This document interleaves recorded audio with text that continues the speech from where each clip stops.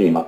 I quadri di casa mia. Nella casa dove abito vi sono solo delle fotografie e alcuni quadri dipinti da miei familiari. Il mio nonno materno era un bravo pittore e vendeva i suoi quadri prima di dar loro gli ultimi ritocchi. Perciò, in casa, c'è solo un quadro fatto da lui, il ritratto del figlio dopo essere stato fucilato da tedeschi, che non tiene molto caro. Mia madre ha ereditato questa tendenza alla pittura e sapeva dipingere molto bene, però, quando si è sposata non ha fatto più alcun lavoro e ci sono pochi dipinti di lei in casa, ma manca a tutti la cornice e stanno conservati. Descriverò perciò i molti quadri che sono a Palermo e che sono stati acquistati tutti da mio padre. L'appartamento si trova in un palazzo nuovo situato in via Libertà. Due pareti della sala dei pizzerinenti sono coperti da quadri da sembrare una galleria d'arte. Mio padre ne è molto orgoglioso e spesso se ne sta per molto tempo a contemplarli. I quadri sono tutti di gran valore e hanno la cornice d'oro secchino.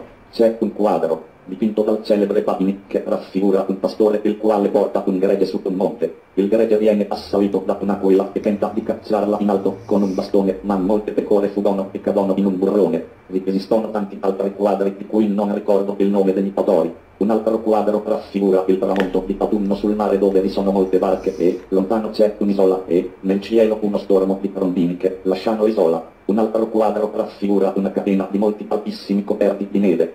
Scrive la messa, come è candida e spicca sull'azzurro infinito.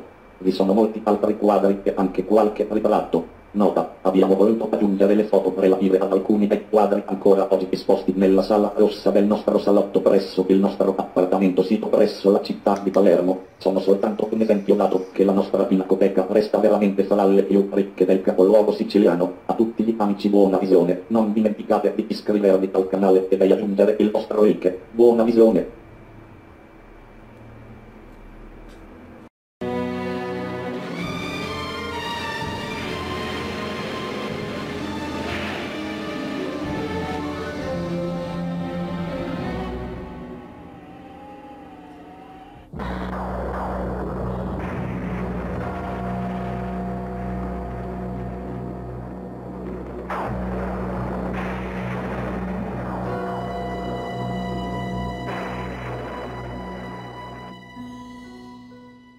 Cronaca. Sono stato a visitare la nostra bella chiesa nel suo ultimo giorno, un bel mattino di domenica. Non vi era molta gente, perché già vi erano stati quelli che desideravano vederla. Molte ragazze, collegiali o orfanelle, si incontravano qua e là accompagnate da suore di vari ordini religiosi. Alcuni sacerdoti passeggiavano all'aperto e un plotone di soldati in fila sostava nel vasto atrio. La mostra era suddivisa in tanti padiglioni sparsi intorno, intorno a cerchio e altri al centro. La nostra bella chiesa è allestita in omaggio al Concilio Ecumenico del Vaticano. Il suo scopo è quello di sviluppare nei giovani la vocazione ecclesiastica o almeno quella religiosa. Nella cappella della mostra si pregava continuamente per il buon esito del concilio e per la diffusione delle vocazioni religiose. La mostra si divide in tre parti. La Chiesa nella sua istituzione, nel suo governo, nella sua altissima missione, nel suo sviluppo, le organizzazioni e le attività della Chiesa, Vicario di Gesù Cristo Cristo, sacri dicasteri, vescovi, sacerdoti, religiosi, seminari, università, atenei, istituti ed associazioni cattoliche, editori e giornali cattolici, apostolati laici e particolarmente azione cattolica,